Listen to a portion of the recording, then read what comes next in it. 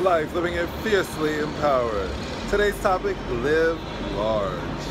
I'm here in Union Square running some errands and wanted to share with you a wonderful quote from a book entitled For Today and Tomorrow, Daily Encouragement by Daisaku Ikeda. Quote, As human beings, let us reach beyond our small, limited selves and attain an all-encompassing state of being, our hearts communing with the vast universe.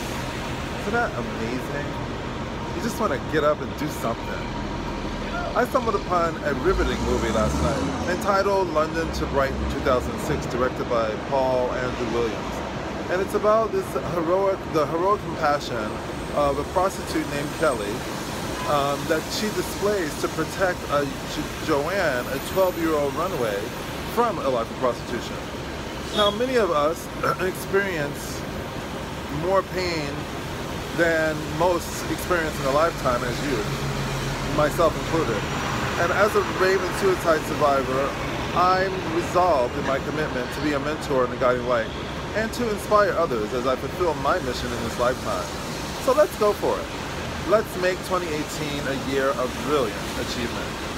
Life, living it fiercely, and ours.